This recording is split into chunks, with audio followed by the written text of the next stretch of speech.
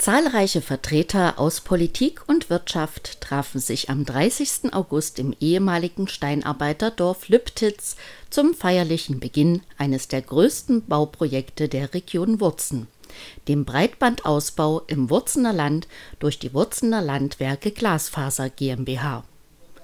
Zu den Gästen zählten unter anderem die Bürgermeister der Gemeinden im Wurzener Land sowie am Bau beteiligte Firmen Getreu dem Motto Was lange währt, wird gut, enthüllten die beteiligten Bürgermeister gemeinsam mit Martin Groß von der Athene Com GmbH als Vertreter des Fördermittelgebers Bund und Dr. Norbert Vornehm, Geschäftsführer der Wurzener Landwerke Glasfaser GmbH, das erste errichtete Bauschild mit dem kompletten Projektgebiet Lossertal Gut sichtbar für vorbeifahrende Verkehrsteilnehmer kündet das Bauschild von einer Zeitenwende in der Internetversorgung im Wurzener Land, von der Bürger, Firmen und Schulen gleichermaßen profitieren werden. Es ist ein Vorhaben, ein richtig großes Vorhaben. Allein in Lossatal werden wir 8,5 Millionen dafür ausgeben, damit die Hälfte aller Haushalte dann mit Abschluss dieses Vorhabens tatsächlich einen optimalen Glasfaseranschluss haben werden.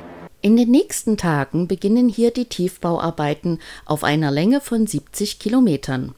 So werden zum Beispiel 142 Kilometer Leerrohre und 260 Kilometer Glasfaser verlegt. Lange genug mussten die Bürger vieler Ortschaften im Wurzener Land auf eine zeitgemäße Breitbandversorgung warten. Nun geht es endlich los.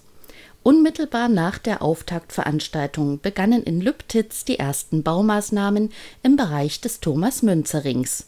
Auch in den drei weiteren Kommunen des Wurzener Landes wird der Bau demnächst starten